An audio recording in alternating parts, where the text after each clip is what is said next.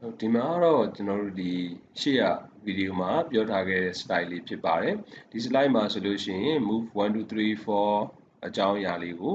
ဒီမှာရေးပူရရေးပေးထားပါတယ်အဲ့တော့1 2 3 4အကြောင်းအရာကိုကျွန်တော်အသေးစိတ်လေးပြောပြပေးသွားမှာဖြစ်ပါတယ်အဲ့တော့ move 1မှာဆိုလို့ရှိရင်သူကဒီအိမ်ကအိမ်မှာရှိနေတဲ့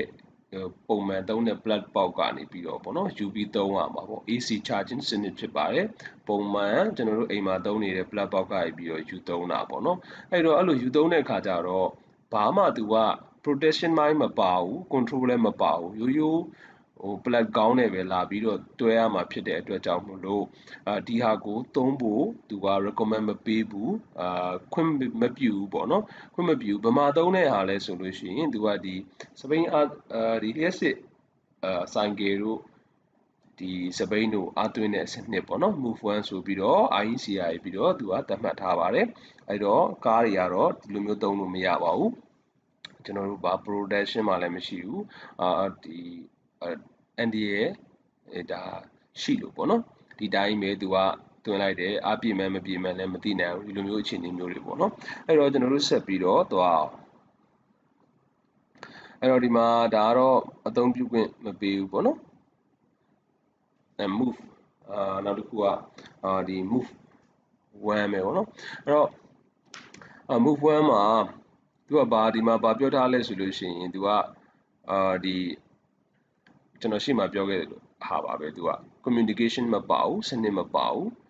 အလူကိုကာကွယ်ပေးတဲ့ပစ္စည်းတွေလည်းပါမပါဘူးအဲဒါဆိုခွင့်မပြုဘူးပေါ့နော်ဒါလေးကိုပြောထားတာအဲ့မှာ move to မှာကျတော့ဘာပါလာမလဲပေါ့နော် move to မှာဘာပါလာမလဲဆိုတော့ခါကြတော့ခုန move 1နဲ့အတူတူပဲကိုသူကဒီကျိုးနဲ့ဒီကားနဲ့ ဒီဟိုပါဘောနော် plug ပေါက်နဲ့ကြားထဲမှာသူပစ္စည်းတစ်ခုပါလာတယ်အဲ့ပစ္စည်းကကြတော့သူကဘာခေါ်လဲဆိုရင် ICCPD ဆိုတဲ့ပစ္စည်းလေးပါလာအဲ့တော့ ICCPD ဆိုတဲ့ပစ္စည်းကကြတော့ခုန move one နဲ့ပို့ပြီးမြင့်သွားတာကသူအဲ့ဟာလေးပါလာလို့အဲ့ဟာလေးကကြတော့သူကအာဒီ control နဲ့ protection အတွက်ပေါ့နော်အဲ့တော့သူက in cable control and protection ဆိုတဲ့အတူကောက် IC CPD ဆိုတဲ့ပစ္စည်းလေးပါလာတယ်အဲ့တော့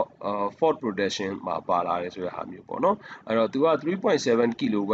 အထိပဲသူကအသုံးပြုတယ်ဒါမှမဟုတ်လို့ရှိရင်7.4 kW အဲ့မှာသူက16 ampere နဲ့32 ampere ဟိုပေါ့နော်ဒါသူရဲ့ rated power ပေါ်မှာမူတည်ပြီးတော့ ampere ပေါ့နော်16 ampere 32 ampere အဲ့ဒီမှာတစ်ခုရှိတာကဒီဟာကသူကကားတွေဝယ်လို့ရှိရင်ဒီလိုမျိုး charger ပေးတယ်ပေါ့နော်အာအဲ့လိုမျိုးကျွန်တော်ကျွန်တော်တမ ्या ရှိရပြန်သိထားတာပေါ့နော်ကျွန်တော်တို့ဒီလိုကားမျိုးလဲကျွန်တော်အာဒီအတွေ့အကြုံမရှိဘူးပေါ့နော်အဲ့တော့အာဒီမှာနောက်တစ်ခုကဘာရှိမလဲဆိုလို့ရှိရင်အဲဒီ move to move to မှာဆိုလို့ရှိရင်သူကဒီမှာပြထားတဲ့ပုံစံပဲကျွန်တော်တို့ပါလဲဆိုရင်အိမ်မှာရှိနေတဲ့စနစ်ကပြီးတော့အားသွင်းမယ်အဲ့တော့ဒီဟာမှာလဲတစ်ခုရှိတာကကျွန်တော်တို့ရှိမှာသုံးမယ်ဆိုလို့ရှိရင်ကျွန်တော်အသီးစနစ်တွေလိုမယ်ပေါ့နော်ဘာလို့လဲဆိုတော့ အာ add မရှိဘဲနဲ့ဒီ add add aim ဒီအဆောက်အုံတွေမှာ add ချမထားဘဲနဲ့သူက protection လုပ်မယ်ဆိုလို့ရှိရင်ကျွန်တော်တို့ effort ကို protect လုပ်နိုင်မှာမလားပေါ့နော်ဒါလည်းရှိရဒါလည်းသူ့ရဲ့ ICCP အကြောင်းကိုသေချာလေးလာကြည့်မယ်ဆိုရင်တကယ်လို့ add မချမှာပဲသုံးရမှာလားမချဘဲနဲ့သုံးလို့ရတာလားဆိုတာဟာတွေလည်းကျွန်တော်တို့ပါလာမှာပေါ့နော်အနှစ်ခုကနောက်တစ်ခု on board charger ဆိုတာကြတော့အာဒီအားသွင်းတဲ့အခါမှာ on board ထဲကို သွားမယ် on board charger မှာတဆင် battery ကိုအားသွင်းပေးမယ်ဆိုတဲ့ဟာပေါ့နော်အဲ့တော့ဒီ move to မှာကသူ single phase charging ဖြစ်ပြီးတော့သူကဒီ7.4 kW အဲသူက32 ampere ပေါ့နော်အဲ3 phase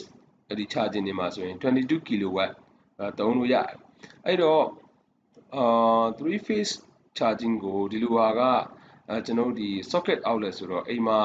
သုံးတဲ့ socket outlet က3 phase ဖြစ်မှရမှာပေါ့နော်3 phase ရှိမှရမှာပေါ့အဲ့တော့ move 2မှာထူးခြားသွားတာက ICCB ဒီ in control cable box ပေါ့နော်အဲအဲ့ဟာပါလာမယ်ပြီးသွားလို့ရှိရင်အဲဒီဒါလေးတစ်ခုပဲအဲ့ဒီဟာကိုမှသူကဘာပါလာမလဲဆိုလို့ရှိရင်ဒီအထဲမှာဆိုလို့ရှိရင်သူကဒီအာ control box ထဲမှာ temperature monitoring စနစ်ပါမယ်ပေါ့နော်သူ အာအပူချိန်ကိုအာရုံခံတဲ့စနစ်တွေပါမယ် contact monitoring သူကဒီ plug box တစ်ခုနဲ့တစ်ခုနဲ့ကြားထဲမှာ plug box သုံးတဲ့အခါမှာဒီကောင်းထည့်တဲ့အခါမှာ contact monitoring လုပ်ပေးတာပေါ့နော်ဟို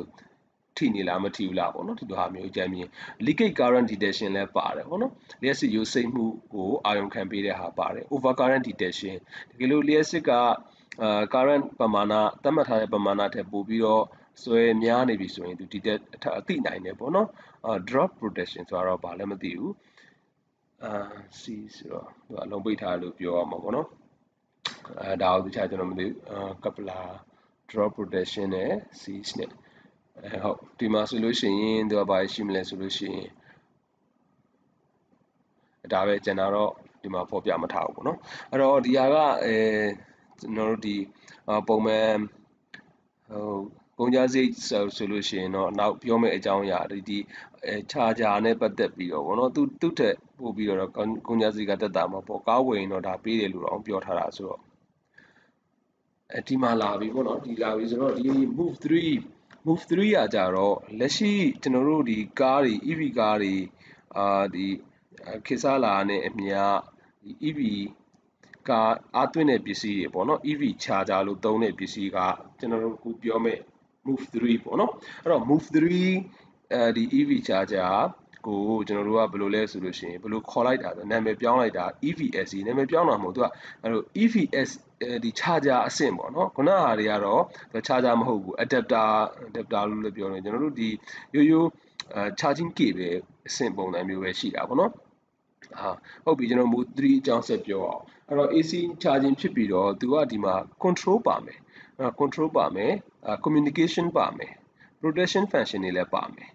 အဲ့လိုမျိုးပါတဲ့ဒီ charger တစ်ခုကို EVSE သူက electric vehicle supply equipment လို့သုံးတာပေါ့နော်အဲ့တော့အာဘလောက်သုံးကြလဲဆိုရင်3.7 kW က43ဆိုတော့ကျွန်တော်ဒီလေ့လာမိသလောက် move 3ထဲမှာ43က အာဒီအဲ့လောက်ထိမရှိဘူးအာ maximum 22 AC ကို22အထိပဲရှိကြတာပေါ့နော်43ကိုတော့ခြားဘယ်နိုင်ငံတွေမှာသူသုံးကြလဲတော့မသိဘူးအဲ့တော့3.7ကနေပြီးတော့3.7 7.4 kW 11 kW ပြီးသွားရင်22 kW ဆိုပြီးတော့ AC ကိုအဲ့လောက်ထိပဲသုံးတယ်ပေါ့နော် DC ကိုတော့30 kW လောက်ကစပြီးတော့အာရှိတယ်အဲသူ့ထက်များသွားမှာပေါ့နော်တန်ပမာဏတွေအဲ့တော့ ဒီ move 3 charging မှာလည်းပဲအာဒီပုံထဲမှာဒီမှာ dedicated EVSC လို့သူကပြထားတာပေါ့နော်အဲ့တော့အိမ်က plug box ကယူသုံးလို့မရဘူးအဲ့ဒီပစ္စည်းကိုဝယ်ရမယ်ဝယ်ပြီးသွားလို့ရှိရင်အာဒီအာဒေချာတက်ပြီးတော့သုံးရမယ်ပေါ့နော်အဲ့တော့ဒီအဲအိမ်ဒီ grid ကနေပြီးတော့ကျွန်တော်တို့ဒီအိမ်မှာရှိတဲ့ layer 6ကနေပြီးတော့သူက EVSC တွေကိုလာလိုက်ပြီပေါ့နော်အဲ့တော့ EVSC ကမှတဆင် အဲသူကဘယ်လိုမျိုးအလုပ်လုပ်တာလဲဆိုလို့ရှိရင်ဒီကားထဲမှာရှိတဲ့ on board charger ပေါ့နော် on board charger တွေကိုသူကဒီလျှက်စစ်သွင်းလိုက်တာသွင်းတာ AC ပဲအာတစ်ဖက်မှာကြာမှသူကပြန်ပြီးတော့ DC ပြန်ပြောင်းပြီးတော့ဘက်ထရီကိုအားသွင်းတာပေါ့နော်အဲ့တော့ဒီ battery အားသွင်းတဲ့အခါမှာလည်းဒီ management system တွေပါအောင်ပါပေါ့အဲ့တော့ကျွန်တော်တို့ဒီ on board charger နဲ့ဒီဘက်ကအာ ဒီ charging station လို့ခေါ်တဲ့ EVSC နဲ့ဆက်သွယ်တဲ့အခါမှာသူကဒီ control ဘိုင်းတွေပါမှာပေါ့နော် control signal ဘိုင်းတွေ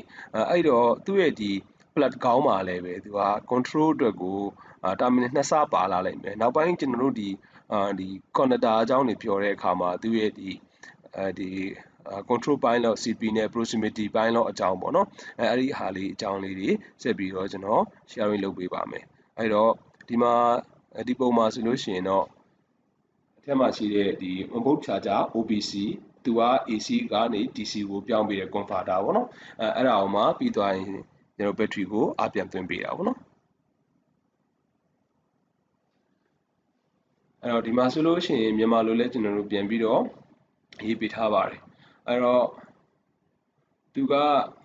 protection နဲ့ control function တွေအဓိကပါတာပေါ့နော်အာဒီအတွက်ကိုပို့ပြီး safe ဖြစ်တာပေါ့အဲ့တော့သတ်မှတ်ထားတာတော့သူ့ကို EVSC လို့ ခေါ်တယ်ပေါ့နော်အဲ့တော့ EVSC မှာအာဘာနည်းနည်းလေးကွဲပြားလဲဆိုရှင်ရင်သူကဒီကျိုးပေါ်မှာမူတည်ပြီးတော့ case 1 APCT ဆိုပြီးတော့ခွဲထားတယ်အဲ့တော့ဒီမှာမြင်နေရတာ case A ပေါ့နော် case A ကတော့သူကဘာလဲဆိုလို့ရှိရင်ဒီတခါတည်းသူကဒီကားမှာပေါ့နော်ကျိုးတခါတည်းတွဲထားတာအာဒီလိုမျိုးတော့ကျွန်တော်လည်းမတွေ့ဘူးသေးဘူးပေါ့နော်အဲ့တော့ဒီကားမှာ ဒီအားသွင်းမယ်ဆိုလို့ရှိရင်ကားရဲရပြီးတော့တခါတည်းဒီကျိုးဆွတ်ထုတ်လာပြီးကမှအာဒီအားသွင်းမဲ့ charger ကိုလာပြီးတက်မဲ့ဟာပေါ့နော်အဲ့ဒါ case A အဲ့တော့ကျွန်တော်ဆက်ပြီးတော့သွားလိုက်ပေါ့နော်အဲ့တော့ခုနဆက်မသွားဒီမှာဒီမှာ EVSC အကြောင်းလေးကိုသူကအဲဒီအာကျွန်တော်ဖော်ပြပေးထားတာပေါ့နော်အဲ့တော့ EVSC ကဒီတခါတည်းဒီ grid ကနေပြီးတော့တခါလာမီတာတွေပိုင်းနဲ့တွဲလာတယ်ပြီးသွားရင်အဲ panel တွေထည့်မယ်ပြီးသွားရင် ကျွန်တော်တို့အဲ့ပစ္စည်းပေါ့နော်ဒီ EV charger အဲ့ဒီမှာအဲဒီအပိုင်နာမည်ခေါ်ထားတဲ့ဟာပါလဲဆိုရင် panel ရောဒီဘက်က electric vehicle charger ပေါ့နော် EV charger နဲ့တွဲနေတဲ့နာမည်ကကြတော့ electric vehicle supply equipment လို့ကျွန်တော်တို့နာမည်သုံးလိုက်တာပေါ့နော်တစ်ဖက်မှာကတော့ EV ပေါ့အဲဒီဟာဒီနာမည်လေးကို define လုပ်တာပေါ့နော်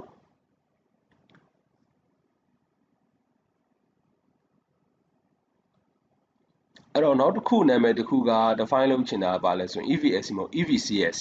charging system လို့ပြောလာတဲ့အခါကျတော့ခုန EV ဒီ equipment ကကြတော့ဒီ grid ကနေတခါတည်းဒီ panel နဲ့ဒီ charger နဲ့ဆက်ထားတဲ့ဟာ EVSC ဒီ charging system ကြတော့အဲ့လိုမဟုတ်တော့ဘဲねသူကဒီဘာပါပါလာပြီလဲဆိုလို့ရှိရင်ဒီအာအဲကျွန်တော်တို့ဒီဟောပါတော့ payment စနစ်တွေပါပါလာမှာပေါ့နော် charging system system တစ်ခုလုံးပေါ့အဲ့တော့ဒါကတော့နာမည်ပေါ့နော်သူရဲ့ဟို define လုပ်ထားတဲ့ဟာလေးပါပဲအဲဒီမှာဆိုလို့ရှိရင်ကျွန်တော်တို့ဒါ move 3ပဲ move 3ကိုခုနရှေ့ကပြောတဲ့ဟာနဲ့ဘာကွာသွားမလဲဆိုရင် case တစ်ခုပဲကွာသွားမယ် case b အဲ့တော့ case b က case a နဲ့ပါကွာလဲဆိုရင် case a ကကြတော့ကားကကားကဒီကားထဲမှာတခါတည်း connect connector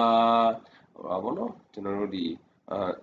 charging cable ကတခါတည်းကားနဲ့တွဲထားပြီးသားကြီးသူကဖြစ်နေတာပေါ့နော်အဲ့တော့ဒီမှာအဲ့လိုမဟုတ်ဘူး case B ကြတော့ကားကားမှာကျိုးနဲ့တွဲမထားဘူး connector မှာလည်းကျိုးကချိတ်မထားဘူးကျိုးကအလွတ်ပေါ့အဲ့တော့ဒီကျိုးက connector မှာချိတ်လျက်တာဖြစ်ဖြစ်မှာပေါ့နော်ဒါမှမဟုတ်လို့ရှိရင်ကားရဲမှာဒီကျိုးပါလာမှဒီ connector မှာကျိုးမရှိခင်လာတက်လို့ရမှာပေါ့နော်အဲ့တော့ဒါက case B အဲ့တော့ကျိုးက ဒီကားနဲ့လည်းဆက်မထားဘူးကွန်တာနဲ့လည်းဆက်မထားဘူးအနောက်တစ်ခုက KC ဒါကကျွန်တော်ဒီတွေ့ရတဲ့အထက်မှာတော့ဒီဟာကိုတွေ့ရတယ်ပေါ့နော်အာကျွန်တော်အပြင်မှာတွေ့ရတဲ့အထက်မှာ KC သူက connector မှာတစ်ခါလေးကြိုးပါထားတယ်အားသွင်းမယ်ဆိုရင်အဲ့ဒီကြိုးကိုကျွန်တော်ဒီသူကြိုးချိတ်ထားတဲ့နေရာပြီးတော့ယူပြီးတော့အာကားမှာလာတက်တဲ့ဟာပေါ့နော် KC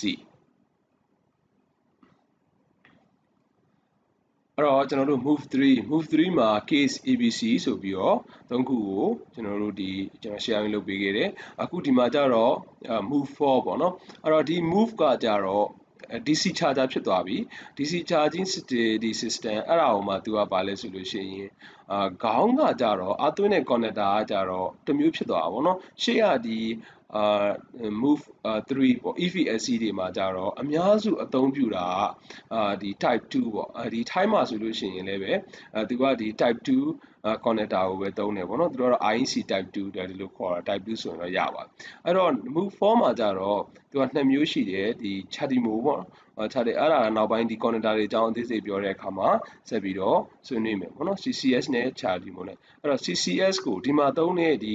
အာထိုင်းမှာကြတော့သူက CCS type 2ပေါ့နော်ဒီဟာကိုသုံးတယ်အဲ့တော့ Chatimo ကတော့တိတ်အာသူတို့မသုံးကြဘူးပေါ့ဒါပေမဲ့လည်းတကယ်လို့အဲ Chatimo ရှိနေတဲ့ connector ဆိုလို့ရှိရင်လည်းပဲဒီ adapter တွေဝယ်သုံးလိုက်တယ်ဆိုရင်လည်းရမှာပေါ့နော်အဲ့တော့ကျွန်တော်ဒီမှာ over 150 kW ဆိုတော့ပုံမှန်တော့ rating တွေကတော့ပြောင်းနေမှာပေါ့နော်အခုနောက်ပိုင်းအများဆုံးဘယ်လောက်ထိရှိလဲဆိုတော့ကျွန်တော်မမှတ်မိတော့ဘူး DC ကို ဒါကတော့ DC charging စနစ် DC charging စနစ်မှာဆိုလို့ရှိရင်သူက on board မဟုတ်တော့ဘဲနဲ့ off board charger ဆိုပြီးတော့သုံးတယ် DC charging စနစ်ကိုလည်းသူကဒီ fast charging ပေါ့ DC fast charging ဆိုပြီးတော့သူကသုံး DCFC လားမသိဘူးအဲ့လိုနာမည်လေးသုံးတယ်အဲ့တော့ on board မှာမဟုတ်တော့ဘဲနဲ့အဲ့ဒီ on board ကိုကြော်ပြီးတော့တခါတည်းသူကဒီ hybrid စနစ်ပေးတဲ့ဟာမျိုးပေါ့နော် အဲ့တော့ဒီ grid ကနေလာတဲ့ဟာလာတဲ့ဟာကတော့ AC ပဲ AC ကနေမှသူကအဲ့ဒီ charging station အဲကိုသူကသွားလိုက်တာအဲ့တော့သွားလိုက်တဲ့ခါကျတော့အဲ့ဒီ EVSC ပေါ့နော် Electric Vehicle Supply Equipment အာအဲ့ဒါကသူက AC ကနေ DC ကိုပြောင်းပေးမယ်ကောင်အဲ့တော့ပြောင်းပေးတဲ့ကောင်ကသူကအထက်မှာ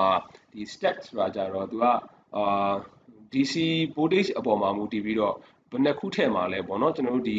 ဟိုဟာပုံစံမျိုး ဟို DC voltage အပေါ်မှာမူတည်ပြီးတော့အဲဒီဟိုဟာလေးတွေ module လို့ပဲသုံးမလားမသိဘူးဗောနော်သူကအဲ့လိုမျိုးတစ်ခုချင်းတစ်ခုချင်းဒီလိုက်လိုက်ပြီးထည့်ပေးအားနောက်ဆုံး DC ဘိုင်းကိုကျွန်တော်ထပ်ပြီးတော့ sharing လုပ်တဲ့အခါမှာဒီဟာလေးတွေအကြောင်းကျွန်တော်လေ့လာပြီးတော့ပြန်ပြီးတော့ညှဝေသွားပါမယ်အဲ့ဒါအောင်မှနောက်တစ်ခုကဒီမှာ electric vehicle ဆိုတဲ့ဟာမှာသူက OCBC တော့ပါတယ်ဗောနော် AC/DC converter အဲ့ဒီမှာတော့တခါတည်းသူကဘာလုပ်လိုက်လဲဆိုတော့ bypass လုပ်လိုက်ပြီးတော့ PMS ထဲကိုထည့်လိုက်ပြီးတော့အသွင်းတာအဲကြောင့်မလို့သူကဒီ fast charging fast charging ဖြစ်ရတဲ့အကြောင်းရင်းက OCB ကိုလည်းကြော်လိုက်တာရယ် high voltage ပေးတဲ့အကြောင်းအရာလည်းဖြစ်မယ်ထင်တာပေါ့နော်အဲ့တော့ဒီ pressure များများနဲ့အသွင်းလိုက်တဲ့ပုံစံမျိုးဖြစ်တာပေါ့အဲ့တော့ကျွန်တော်တို့ဒီမှာဆိုလို့ရှိရင်ဒီ DC charging system ရဲ့ power flow ပေါ့နော်ဒါလေးကိုကျွန်တော်နားလည်သလောက်ပြန်ပြီးတော့ sharing လုပ်တာဖြစ်ပါတယ်အဲ့တော့ IEC ဇန်နှုန်းအရာ သတ်မှတ်ထားတာက level 1 2 3မဟုတ်ဘူး move 1 2 3 4ဆိုပြီးသတ်မှတ်ထားပါတယ်အဲ့တော့ level 1 2 3ကကြတော့ SAE international ကသတ်မှတ်ထားတဲ့စံနှုန်းပေါ့နော်အမေရိကဘက်မှာသုံးကြတယ်အဲ့တော့အခုဒီမှာ INC ကတော့ဥရောပဒီအပိုင်းမှာသုံးကြတယ်အဲ့တော့1 2 3 1 2 3ကိုမှသူကဘာပါမလဲ1ဘာကွာသွားမလဲဆိုရင်1ကအသုံးမပြုပါဘူးပေါ့နော်ခွင့်မပြုဘူးအာဒီဆိုင်ကယ်တွေစပိန်တွေလောက်ပဲသုံးတယ် move 2ကကြတော့သူက emergency case လောက်သုံးလို့ရတယ်ပေါ့နော်အဲ့လိုမျိုးသုံးကြတယ်လို့လည်းကျွန်တော်နားလည်ထားတယ်သူကဒီကျိုးကိုအာဒီလွယ်တကူလဲဝယ်လို့ရပြီးတော့ကားဝယ်တဲ့သူတွေလည်းဒီကျိုးပါတယ်လို့ပြောတယ်အာနောက်တစ်ခု move 3ကတော့လက်ရှိကျွန်တော်တို့ charger တွေတက်နေကြတယ်အဲဒီကားဝယ်တယ်ဆိုလို့ရှိရင်ဒီ charger တွေတက်ကြတယ်ဆိုတဲ့ဟာက move 3ပေါ့နော်အဲ့တော့ move 3မှာဆိုလို့ရှိရင်တော့ case abc ဆိုပြီးတော့သုံးခုလောက်ခွဲတယ်အဲ့ case ကလည်းပဲသူကဒီ charging ကျိုးပေါ့နော် ကားနဲ့ဒီ EV နဲ့ဒီဘက်က charging station နဲ့လာဆက်တဲ့ကြိုးကွာသွားတာပေါ့နော်ဖြုတ်ထားလားတက်ထားလားပေါ့နော်နောက်တစ်ခုက move for move for ကတော့ DC charging စနစ်ဖြစ်သွားတယ်အဲအဲ့မှာပုံထဲမှာလည်းမြင်ရတယ်ဒီ connector လေးမတူတော့ဘူးပေါ့နော် move 1 2 3မှာ type 2သုံးပြီးတော့ဒီ move 4မှာကြတော့သူက CCS type 2အဒီမှာသုံးများတာပေါ့နော်အဲဒီအချို့နေရာတွေမှာလည်း charging မို့သုံးတာပေါ့အဲ့တော့အဲဒါလေးပြီးသွားတဲ့အချိန်ကျတော့ အဲကျွန်တော်ဒီ PowerPoint ကတော့ဒါပြင်ထားတာတော့နောက်ဆုံးမှာပါအဲ့တော့ဒီဗီဒီယိုလေးကိုကြည့်ပြီးတော့ဟိုအာဘူတုဒတစ်ခုခုရမယ်လို့မျှော်လင့်ပါတယ်ဗောနော်